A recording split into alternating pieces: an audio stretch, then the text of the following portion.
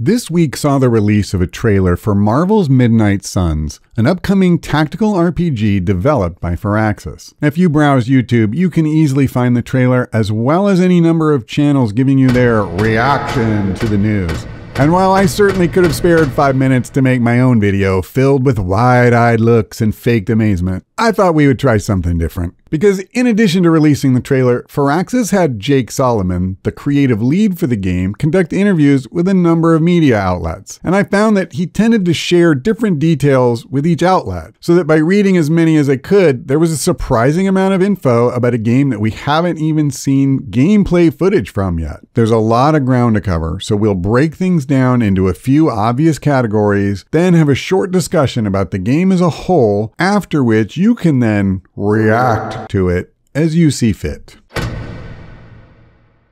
Rise of the Midnight Suns features a villain named Lilith, who's also referred to as the mother of all demons. Lilith has decided that Earth is ready for new management, and she is just the demon for the job. The Avengers and Doctor Strange join forces, along with Wolverine and some other heroes, to try and stop her. But at this point in the story, her plot armor is way too strong for even them to get through, and so their efforts are in vain. Next, they run into a group of supernatural anti heroes that they reluctantly join forces with. I don't think it's explicitly stated, but it sounds as though this small group of a dozen heroes may be the only ones who manage to escape from Lilith. But knowing they need help, they take the somewhat extreme step of resurrecting Lilith's daughter, who is also a renowned demon hunter cleverly named, well, the Hunter. Finally, this somewhat motley crew takes refuge in a place known as the Abbey. This'll be our combination home and headquarters, and it sounds like we'll be there at all times except when we're going out on missions. If you're wondering whether you'll be able to play as the Marvel superheroes themselves, then you may be surprised to hear that the answer is no, at least not for the most part. We'll be playing as the Hunter, who was created specifically for this game. We will work with the established heroes, make friends with them, braid each other's hair, and hold slumber parties, but they won't be our avatars in the game. That said, you will be able to control three of the Marvel heroes along with the Hunter during each combat mission. And that's it. That's the basic setup for the story of the game. So now let's go into more detail on a number of these areas, starting with combat.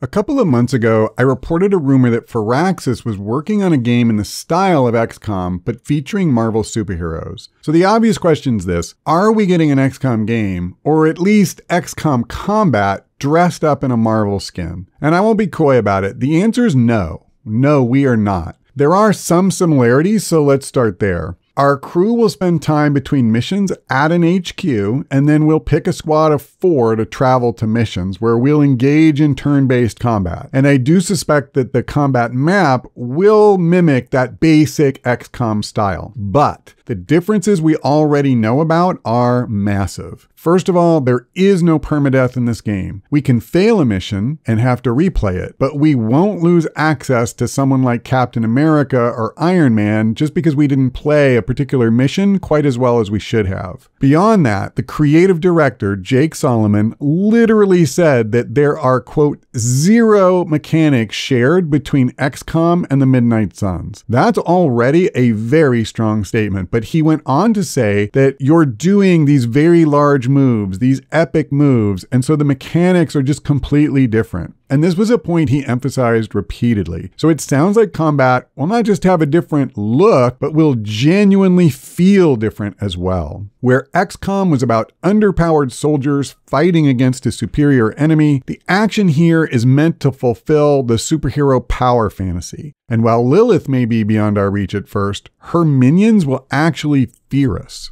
We'll be interacting more with the environment, leaping off cars, pulling down light poles, and even kicking objects all the way across the map. And finally, combat was designed to reflect the frantic pace and energy of a superhero fight. Now, the most interesting part of this from my perspective is taking the idea that we'll be smashing multiple enemies with a single blow and doing things that make us feel powerful at an epic level, but how does that translate into a combat system that provides enough challenge to feel satisfying when you win? Are we gonna fight in a type of horde mode for most of the game? Or do we start off against weaklings and then fight tougher enemies once we've had a chance to feel amazing? He did say that Lilith can corrupt anyone with a touch, and that includes the Marvel superheroes that aren't part of our roster. So it's very likely that we'll have some oh crap moments when someone like Thor or the Hulk shows up and we have to fight them. At any rate, I don't think that we'll just be swatting enemies like flies for the whole game, and it should be interesting to see what they've come up with. Meanwhile, let's go ahead and talk about the star of this show, the Hunter. The Hunter is an entirely new creation for Midnight Suns. She's an ancient warrior and Lilith's forsaken daughter. Perhaps more importantly, she's the only hero known to have ever defeated her. She's also the one character in Midnight Suns that will be fully customizable in both appearance and powers. There are over 40 different superpowers to choose from, and they're broken into broad categories of light and dark. The light powers are said to be along the lines of traditional superheroes, while the dark are in the mold of occult antiheroes like Ghost Rider and Blade. Now, that doesn't mean that you'll have powers exactly like theirs. Instead, they've implied that the choice may have more to do with story consequences, and they drew comparisons to Mass Effect's approach of Paragon versus Renegade versions of Shepard. Her skills will improve as the game progresses, but this will happen in a way that you may not expect. In between missions, we'll have a chance to spend time with the other heroes at the Abbey. Some examples they gave are that Tony Stark might want to play cards, or Captain Marvel could spar with you. Spending time with someone in the Abbey or bringing them along on missions should improve your relationship. And somehow cultivating those relationships will apparently shape your character progression. I wish I could go into more detail on that, but that's about all we know so far. The other heroes don't need to level up in the traditional way, but there is a costume upgrade that can also be unlocked by building a relationship with them, and this boosts their power level. Given that the trailer already shows costumes with runes on them, I think it's safe to say that there's magic involved with these new outfits, and that this will be part of getting our powers charged up to finally take down Lilith in the endgame. Okay, we're heading into the home stretch. Let's try to put all of these pieces together and talk briefly about what we might expect the game as a whole to feel like.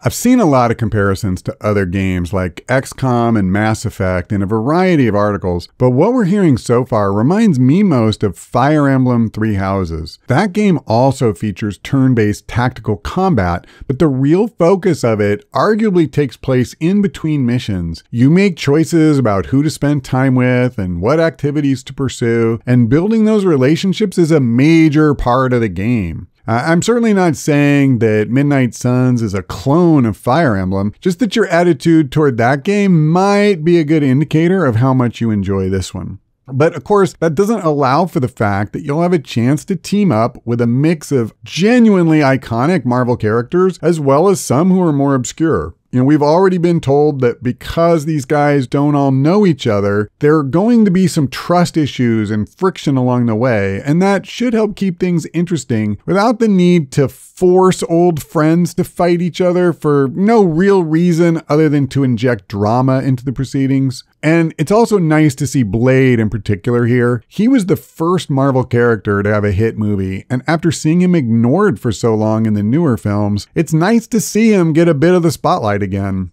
Personally, I hope they got Wesley Snipes to do the voice, but we'll have to wait and see on that one.